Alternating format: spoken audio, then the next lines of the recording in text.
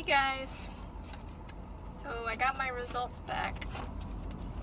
Um, and I'm recording on my phone. I brought my camera, but I forgot to put the memory card in it, so you can't record if you don't have a memory card. Anyways, let's see. What will we do first? TSH with reflex to FT4, which is the thyroid panel. Um, my result was 0.76 and 20 years old and above the, that normal range is 0.40 to 4.5 so that is in the normal range.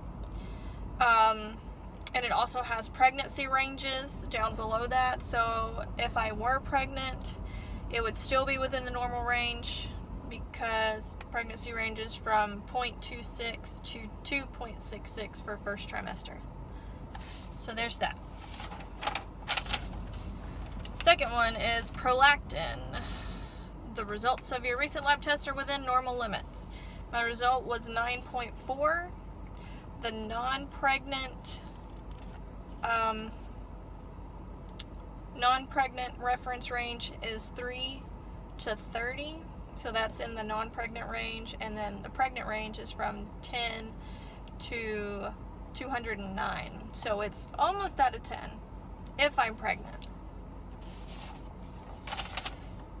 So and I read those two first because they came it was three different tests so they the results came in three different emails. And I read those two first and you know everything said within normal limits within normal limits and then I got to my CBC and says your white blood cell count is high. Many things can cause this, including certain types of infection. Are you having any symptoms besides nipple discharge? I would repeat we do this again in a week or so. So, um, my white blood cell count was 12.2 and the reference range is 3.8 to 10.8 so that's high. And also the absolute lymphocytes. It was I sure hope you don't want me to move. I'm not moving. Don't look at me like that. He's still looking at me. Um absolute lymphocytes was 3,904 and the reference range is 850 to 3,900. So although it is not very high out of the normal range, it's still it's still it's still a high result. Um, so if you know anything about anything, I don't know where that guy went, but he's creeping me out. Um, then you know that that's not good. I mean, something has to be wrong if it is that. If your white blood cells are high. And it can be just an infection, or it could be any type of cancer. So, like, all this morning I was just sitting at my desk trying not to cry. Because it's not good. I mean, it's not horrible. You know, hopefully everything's fine, but it's not good.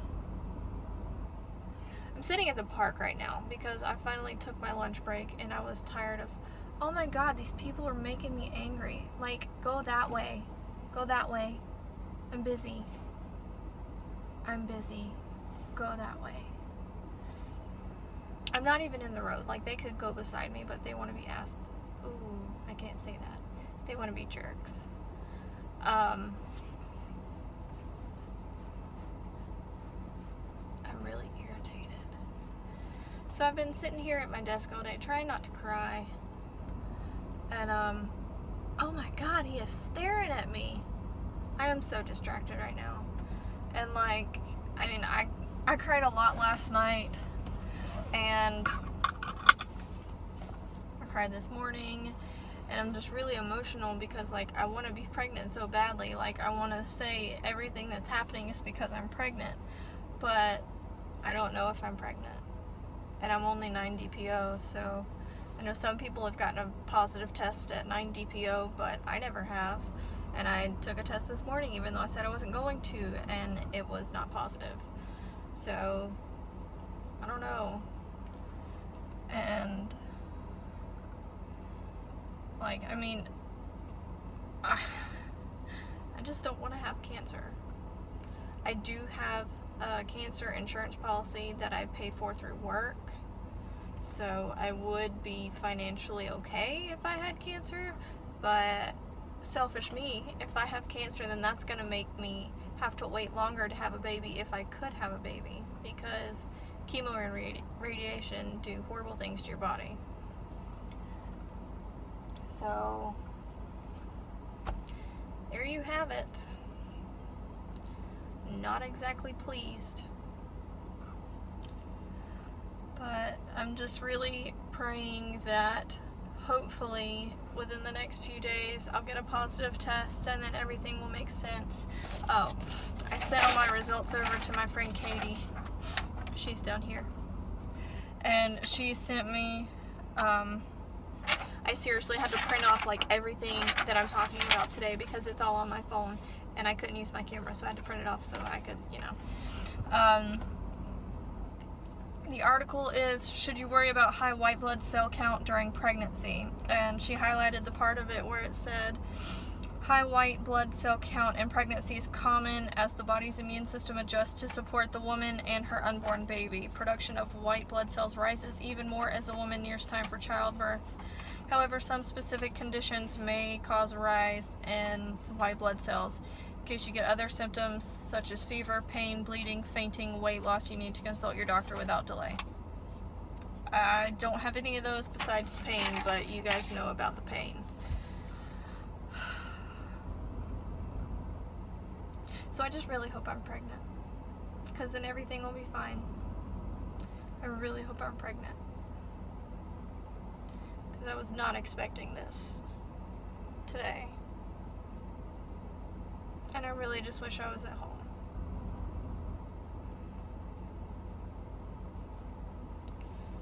But anyways, I'll talk to you guys tomorrow.